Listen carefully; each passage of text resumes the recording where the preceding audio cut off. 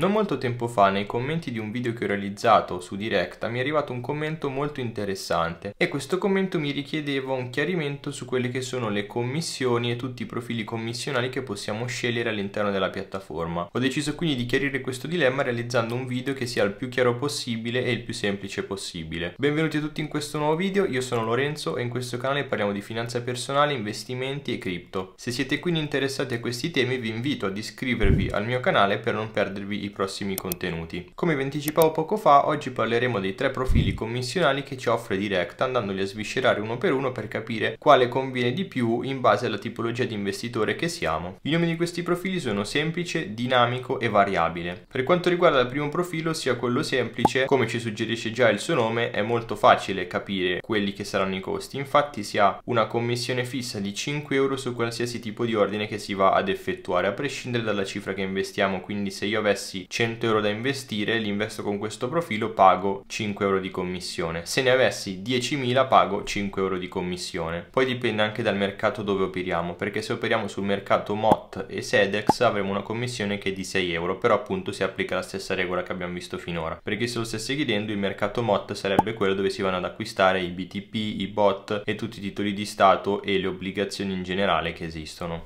Invece il mercato SEDEX è un mercato all'interno del quale si possono negoziare dei derivati, dei certificati, quindi strumenti un po' più complicati. Questo profilo secondo me è più adatto a chi ha grossi capitali, infatti andando a investire come dicevo prima 10.000 euro avremo la stessa commissione che ha una persona che ne investe 100, quindi per chi ha un grosso capitale la convenienza è ovvia, dato che appunto nel caso di un investimento dove si mettono 100 euro abbiamo una commissione del 5%, passando invece un investimento di 1000 con una commissione di 5 euro abbiamo una commissione dello 0,5% e andando a salire la commissione quindi sarà su 10.000 euro di 0,05%, quindi davvero irrisorio rispetto all'investimento in generale. Pensate che solitamente sugli investimenti si cerca di stare sotto l'1% e stando sullo 0,05 è davvero un risparmio enorme. Passando poi a quella che è la commissione dinamica, qui diventa un pochino più complicato da comprendere il discorso, però cerchiamo di spiegarlo in modo semplice. La commissione parte da 8 euro per ogni eseguito che facciamo e poi va a scalare,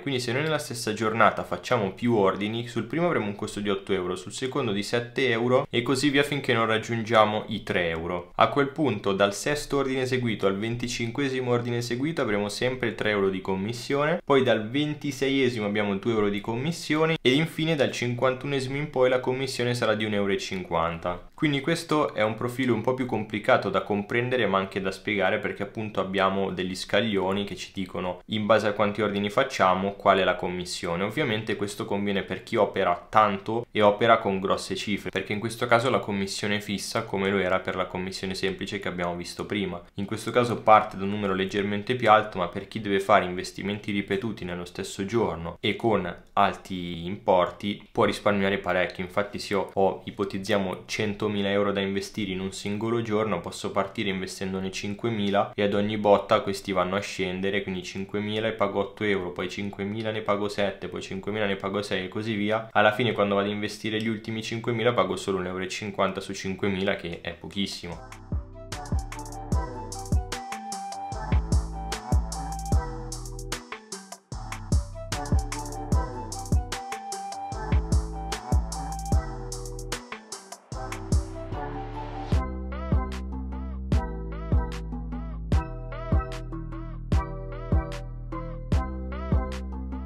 Naturalmente poi bisogna valutare perché se l'individuo in questione vuole investire questi 100.000 euro nello stesso strumento non ha senso andare a fare diversi investimenti per andare a ridurre la commissione, a quel punto tanto vale utilizzare quella che era la commissione semplice di prima così 100.000 euro li investiamo sullo stesso strumento e siamo a posto. Quindi riassumendo quest'ultima casistica secondo me si applica bene a quelli che sono i trader che fanno più operazioni nel corso della stessa giornata e che hanno comunque importi abbastanza elevati perché appunto vedremo adesso che con il profilo successivo possiamo fare praticamente praticamente infinite operazioni pagandole sempre 1,50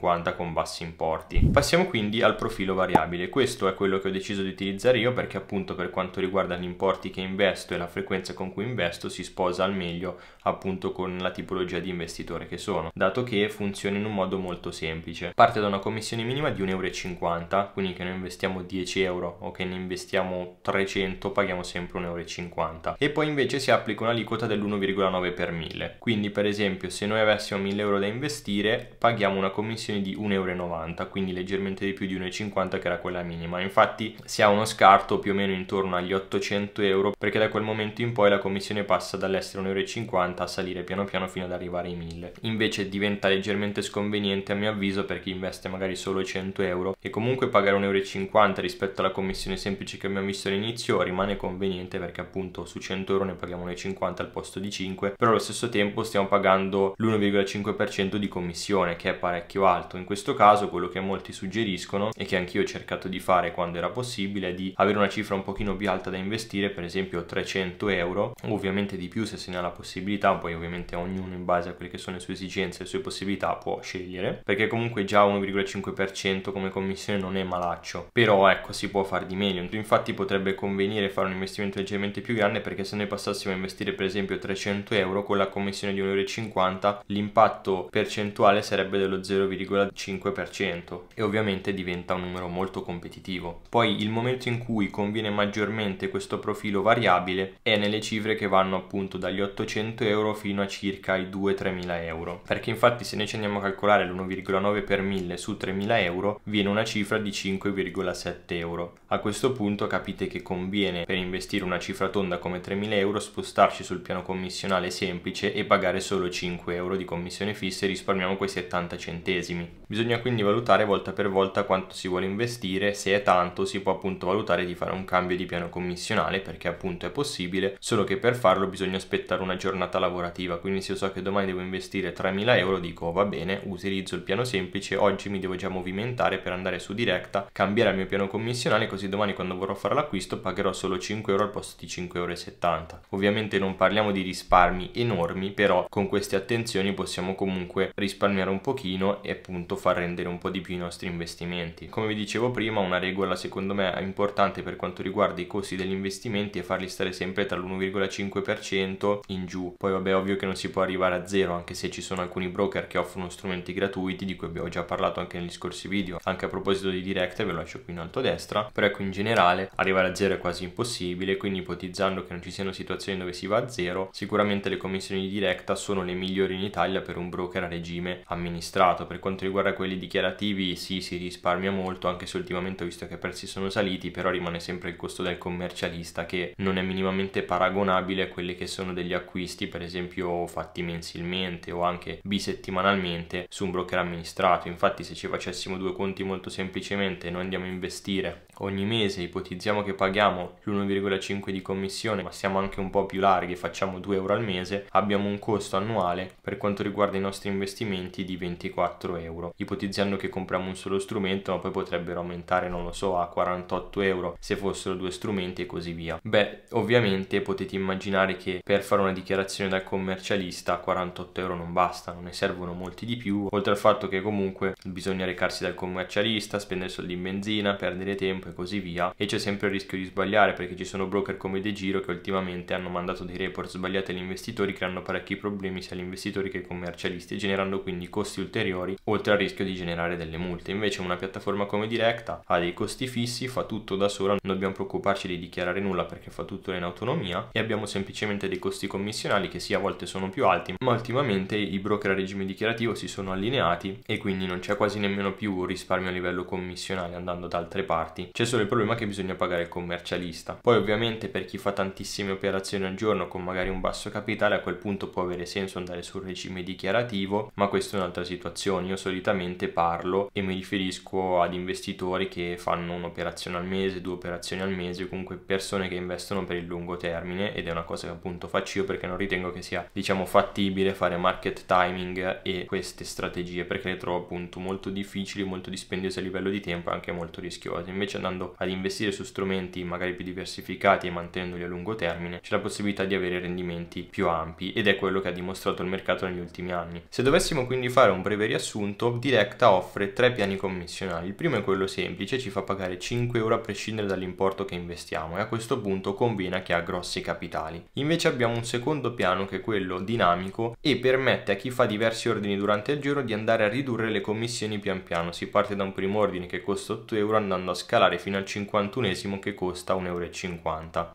Quindi piano piano andando a fare diversi investimenti si riduce la commissione giornaliera e appunto questo è più interessante per chi fa molti ordini durante il giorno perché in alternativa con la commissione del profilo precedente pagheremo 5 euro per azione e su 50 operazioni diventano tanti soldi. Infine abbiamo il piano commissionale variabile che è quello più interessante per chi fa investimenti piccoli e un po' più di rado, infatti per chi investe una volta al mese, due volte al mese e così via è molto interessante dato che la commissione è dell'1,9 per 1000 con un minimo però di 1,50 euro. È comunque quello che è più competitivo perché appunto permette di risparmiare molto sulle commissioni. Naturalmente la cosa più intelligente da fare è quella di avere un investimento minimo che sia magari sopra i 100-200 euro per far sì che le commissioni incidano in modo inferiore sull'investimento. Infatti andare a investire per esempio 100 euro a 1,50 euro potrebbe essere sconveniente anche se non è comunque male rispetto ai costi che hanno altre piattaforme però si può far di meglio e in questo caso quello che si sente dire magari su internet appunto per chi utilizza Direct è il fatto di dire beh io ho la possibilità di risparmiare 100 euro al mese però investirli non ha senso allora cosa faccio? Ne tengo 100 un mese ne tengo 100 un altro magari ne tengo 100 per un altro ancora e poi alla fine ho un gruzzoletto di 300 euro che vado a investire con una commissione di 1,50 euro in quel modo vado a pagare una commissione dello 0,5% che è veramente molto molto competitiva. Quindi non esiste una risposta uguale per tutti ma bisogna scegliere il piano commissionale sulla base del proprio capitale sulla base della propria attività nell'investimento. Quindi quanto si è attivi o quanto si è passivi perché più passivo magari conviene un piano semplice se c'è un grosso capitale o un piano variabile se il capitale è più limitato o in alternativa perché appunto è più attivo c'è il piano dinamico che è assolutamente molto utile. Detto questo io vi ringrazio per aver visto il video fin qui, vi invito se avete altre domande su Directa o su qualsiasi altro broker a farmene qui nei commenti così vi risponderò magari subito con un commento o eventualmente con un video come in questo caso. E infine se il video vi fosse piaciuto vi invito a lasciare un bel mi piace e anche a valutare di iscrivervi al canale. Noi ci vediamo al prossimo video, statemi bene.